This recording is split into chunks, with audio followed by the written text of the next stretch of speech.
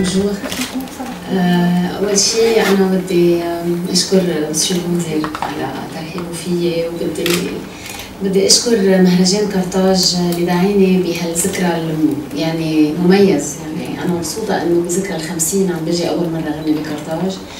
كان في كذا سنين قبل كنت سائب حاجة على كرتاج. ودائما يصير شيء يتعرقل. وطبعا آخر شيء ما رح نذكر الحرب. يعني اللي صارت بتونس وبكل العالم العربي كمان اللي اخرت هذا الموضوع. فأنا كثير مبسوطة إنه أخيرا بقرطاج مع مع أهل تونس اللي هن معروفين ذوقهم الرفيع بالموسيقى وبالفن بشكل عام.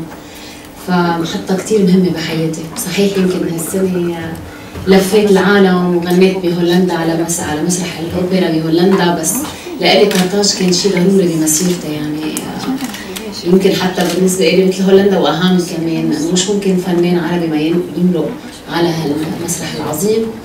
وأنا بشكركم وبرحب بالصحافة وجاهزه لكل الأسئلة.